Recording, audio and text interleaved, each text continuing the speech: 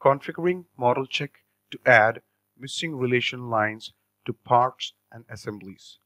In this process, we're going to define mu enable in configuration initialization file, relation underscore miss and relation underscore comment in the check file, part underscore relation, part underscore comment, asm underscore relation, asm underscore comment in the start model check configuration files. Let's review the configuration in Creo. Select File, Options, Configuration Editor and make sure the model check underscore dir config option is set to your custom model check configuration folder. If you do not prefer setting your custom model check folder, you can use Creo parametric default model check folder.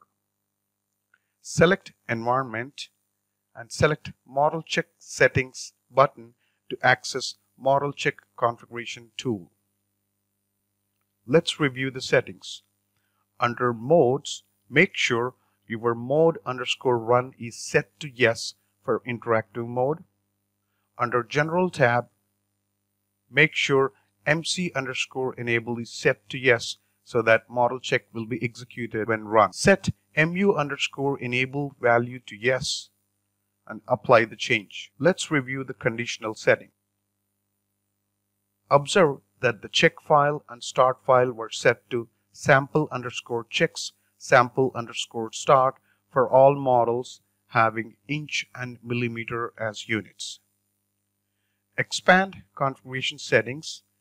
Under check files, select the sample underscore checks file. Make sure relations underscore miss check is set to error, apply the change. Expand start files and select the sample underscore start file. Here we are going to define our assembly and part relation lines and comment lines.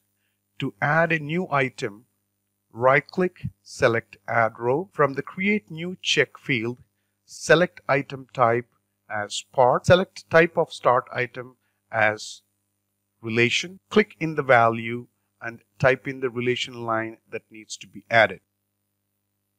Click on add item. Repeat the process to add part comments, assembly comments, and assembly relations.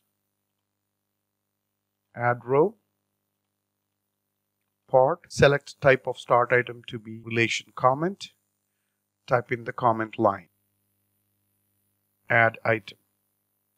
After completing defining all the required part and assembly relation lines and comment lines, click apply and OK to close the model check configuration tool.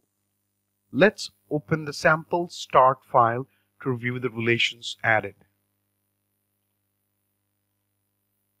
Observe the part comment lines, part relation lines, assembly comment lines, and assembly relation lines are added as desired. Before executing model check, let's review the relations of assembly and part. Select Tools, Relations.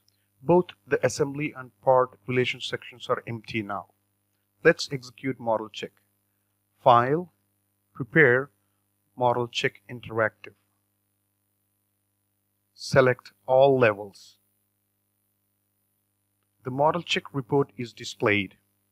In the report window, under Update, expand the missing relations and observe the message related to the added relations. Select Tools, Relations. Observe the designated relations are now added to the assembly and the part as well. This completes demonstration of adding missing relations to parts and assemblies using model check.